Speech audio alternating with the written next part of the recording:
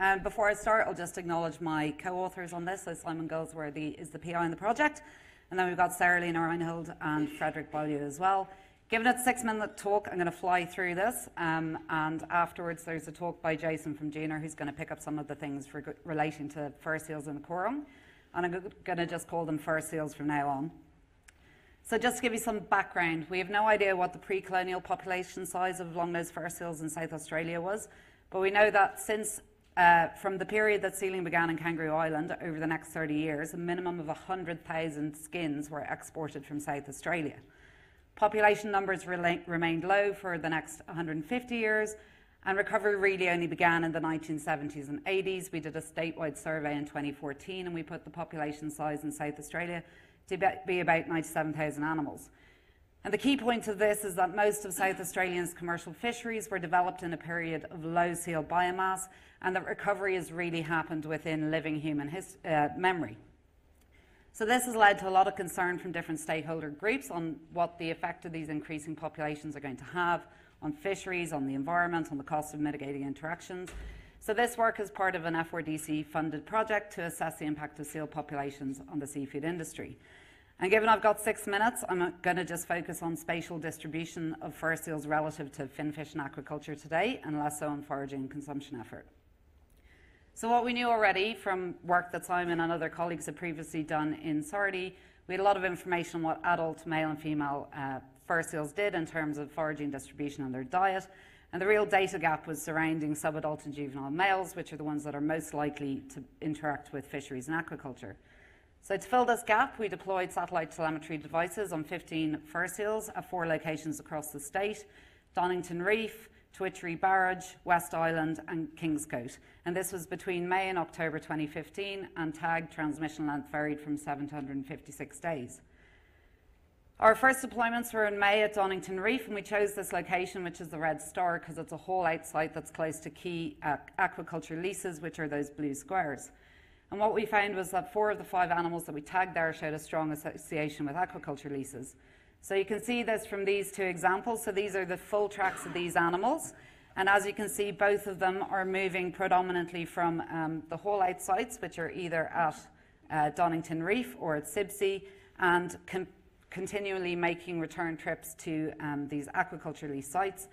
90%, 75% of their uh, time or at least the GPS locations are from within those sites, and their trip distances on are you know 10 to 22 kilometres on average, but they never actually left a 20 kilometre radius from where we tagged them.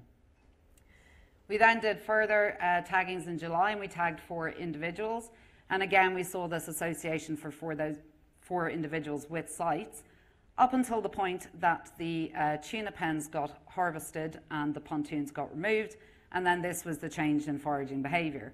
So this is two of the three animals whose tags were still transmitting after this change. And what you can see here is the, the green indicates their uh, average trip time when they're associated with aquaculture, blue when they're offshore.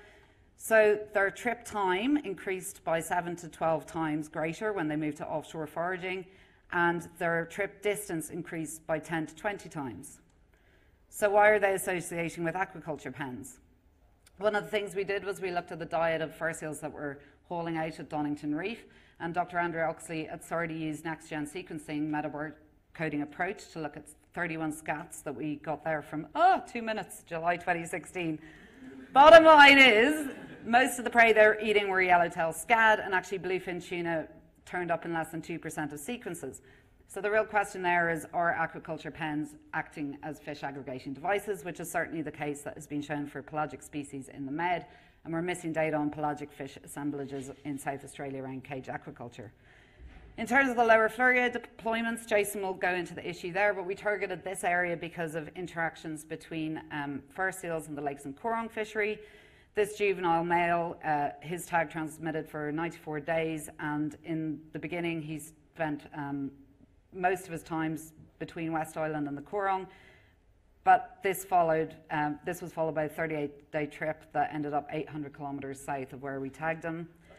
A second individual that we tagged did it in the opposite direction, started off at West Island, went on a 12 day, 325 kilometre trip, then moved into the Coorong for five days, at which point the tag stopped transmitting. And then this third guy effectively spent all his time in the Coorong and hauled out most of the time at West Island. So over a period of 64 days, adding up all his time, the lakes in Coorong came to 11.3 days and 4.2 in the estuary. So one of the things, again, we looked at was scats and Sarah-Lena and Reinhold, looked at these from hard part analysis, and what we found from the scats collected in the Coorong was that the prey species that were coming up from hard parts were tamar goby, bony herring, and goby species, um, with common carp being uh, contributing the most to the overall biomass. So what does it all mean? I think the really important stuff with this is that using high resolution tracking data when dealing with an animal that's perceived um, to be a problem by some stakeholders, given its uh, recent um, recovery, um, is a really useful way to show the variability in foraging behaviour and different associations with anthropogenic activities. It increases our understanding of these interactions, and most importantly, it can then be used as a tool in developing, developing mitigation strategies for uh, managers. And the second part of the work that we're um, currently finishing up is then applying all of this data together to build spatial distribution of total consumption of key prey taxa. So we're able to do this for the two uh, seal species we're looking at, and then compare what they're taking from the environment relative to um, the ma main fisheries in South Australia. And Fred Bailleul at SARDI is doing that work. And I'd just like to thank all of those who are involved. It's a big project, and um, I think that's six minutes. Great. Thanks, Go Alice.